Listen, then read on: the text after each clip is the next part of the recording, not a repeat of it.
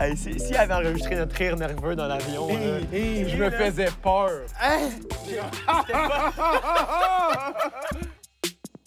Mon nom c'est Vincent, j'ai 18 ans, j'ai un trouble du déficit de l'attention avec hyperactivité ou un TDAH et une dyslexie et je suis parfaitement imparfait. Yes! un TDAH, en fait, c'est souvent je vais me perdre, je vais être dans la lune. Une tâche qui est euh, très répétitive, mon cerveau va souvent se tanner. Je, vais souvent perdre mes affaires, oublier les noms. Je vais souvent les jokes là, des euh, Hey, c'est quoi son nom, Vincent?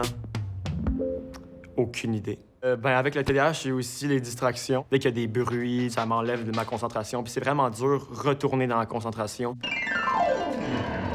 Ben, les préjugés que souvent je rencontre, c'est avec euh, les professeurs. Quand je vais être avec mes mains, je vais taponner quelque chose, une bouteille d'eau dans mes mains comme ça. Les professeurs vont dire euh, Pourquoi tu m'écoutes pas? Puis c'est là que les personnes ne comprennent pas que c'est à ce moment-là que je suis le plus attentif. Un autre préjugé aussi, c'est souvent que je dis à quelqu'un Hey, j'ai un TDAH. Ils vont penser Ah, t'es jamais capable de m'écouter. Ben non, je suis capable de t'écouter. Je peux me concentrer de temps en temps. Là. Bouger, ça aide vraiment à mieux penser quand on a un TDAH. Et c'est facile de comprendre pourquoi. L'attention et la motricité sont toutes les deux prises en charge par la partie frontale du cerveau. Cette proximité géographique fait en sorte que les connexions entre les deux sont nombreuses. Concrètement, ça veut dire que faire une activité physique active la concentration. Mais le contraire est aussi vrai. Demander à une personne avec un TDAH de se calmer, de moins bouger, ça diminue aussi sa capacité de se concentrer. J'ai été diagnostiqué euh, dyslexique. Je vais inverser des mots, il y a des lettres qui vont juste même pas apparaître dans le mot. Quand j'écris, souvent, j'y vais au son. Ça m'est déjà arrivé d'écrire femme, F-A-M-M-E. Puis là, j'étais comme, ouf. Ça, c'est une affaire que je trouve un peu gênante. Euh, à l'école, ça a été euh, un gros parcours avec la dyslexie puis le TDAH aussi. Ça a apporté beaucoup de difficultés, des pertes de confiance aussi, des hey, je suis pas bon, j'ai pas de talent à l'école. Je pense pas que je pourrais réussir à l'école sans le sport. Je suis un fan de pas mal tous les sports. Le sport que je performe le plus, par exemple, c'est la natation. Ça m'aide, moi, avec mon TDAH parce que ça va me calmer.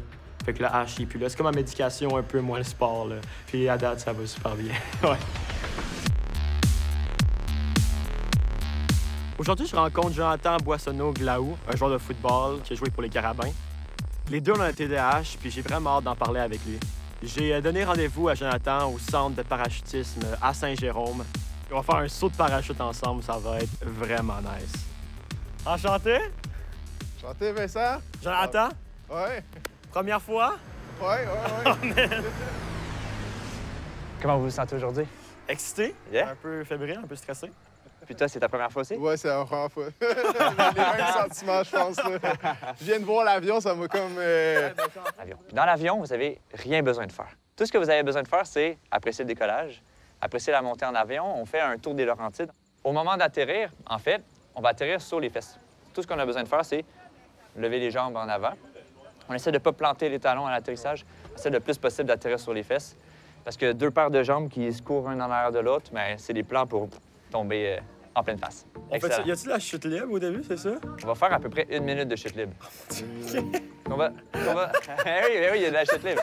On va sortir, on va sortir à 13 500 pieds. J'aimerais ça savoir un peu plus, euh, toi, comment ça a été avec le TDAH, comment ça a commencé? La première fois que j'ai su que j'avais le TDAH, c'est dans le fond que j'ai été diagnostiqué, c'était au secondaire. L'équipe d'enseignement a demandé que je me fasse suivre euh, par euh, le psychoéducateur, puis que Ouais, le psychoéducateur euh, me réfère à un médecin pour me faire diagnostiquer. Moi, c'était pas mal la même chose. là. Je sais pas pour toi, mais moi, je posais énormément de questions. Là. Ouais. Parce que, parce que là, t'es comme, t'es dans l'une, t'es concentré, Ouais. ils parlent, mais tu poses une question, puis là, souvent, ils vont l'avoir dit euh, ouais, précédemment. ouais, ouais, souvent. ouais, ouais, Puis là, le monde sont comme, Ouais. Elle vient juste de exprès, dire. genre, Ouais, c'est ça. la classe, Tu vois, c'est ça. Non, c'est ça. C'est le problème des questions, ça, c'est quelque chose qui me, qui me suit encore. Maintenant, j'ai trouvé des techniques. là. J'essaie d'en garder un peu pour à la fin aller le poser Ouais. au professeur. Là. Ouais, c'est ça. J'ai- j'ai note, là. Euh, ouais, ouais, ouais. OK. Maintenant, on est ici. Maintenant, c'est ici. Maintenant, c'est ici, puis on est prêt. Ouais. aïe, aïe, aïe. Semi-prêt. Ouais, ouais. On sourit, c'est ça? Puis euh, on se laisse guider. Ouais. On se laisse guider. Moi, mes plus grands défis à l'école, c'était de finir les, les Oh, examens. Euh, j'ai pas fini un examen euh, de tout mon secondaire, juste quand j'ai commencé à avoir plus de temps que j'ai- commencé à, à les finir. C'est pareil. Quand je suis rentré au secondaire, j'avais pas d'accommodement tout de suite. Puis mon premier examen de mathématiques, j'ai eu 40% je pense. Parce que la partie que j'avais faite, j'avais eu full bon, mais il manquait toute l'autre moitié de l'examen que j'avais pas eu le temps de finir. Les professeurs te disent, mais va plus vite, euh, prends moins de temps. Je suis pas capable d'aller plus vite. Au début, j'essayais, puis là, il y avait le petit stress qui commençait à, à popper. Je suis comme, hey, je suis pas capable de comprendre la question. Mais tu sais, maintenant, j'ai des trucs, puis je suis comme, je prends une pause, je vais juste relaxer un peu, puis je suis comme, ah, je vais la relire. Puis là, je la comprends. Faut juste que je donne un peu de temps à mon cerveau de se calmer. Souvent, ce qui se passe euh, à l'école, s'ils savent pas que tu l'as, ils vont te punir. Mais ça va pas t'aider de punir. C'est comme si tu nageais, puis euh, on te demandait de nager plus vite. Puis euh, tu, tu nageais pas plus vite, on te punissait au lieu de te coacher, puis de t'améliorer, puis de trouver des techniques. Puis c'est pas parce que ça te prend plus de temps que tu comprends moins Non. bien non plus. Non, c'est ça. Comprendre mieux un sujet, des fois, ça prend plus de temps. Donc, Ouais. euh, je vais prendre plus de temps. Ouais, Tant- qu'à prendre plus de temps, je vais On le prendre pour de vrai. complet, là, Ouais. ouais, c'est ça. Vous êtes prêts, les gars? Yes. Ouais, ouais. On y va, let's go. OK, ouais, là, c'est... euh, on y va, là. On est parti.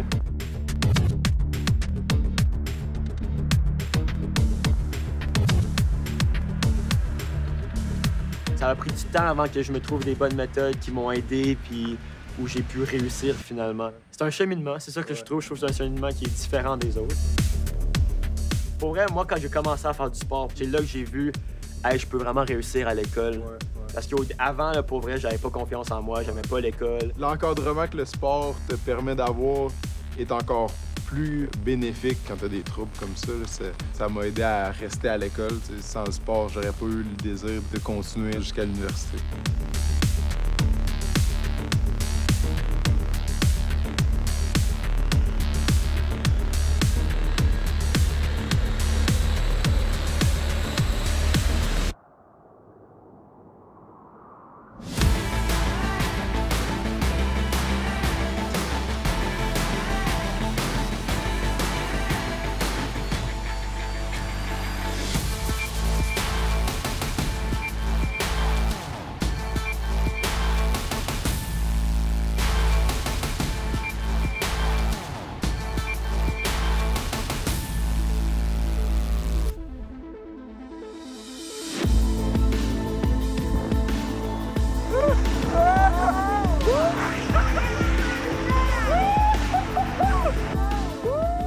Qu'est-ce que le Vincent d'aujourd'hui dirait euh, au petit Vincent de sixième année qui avait bien de la misère?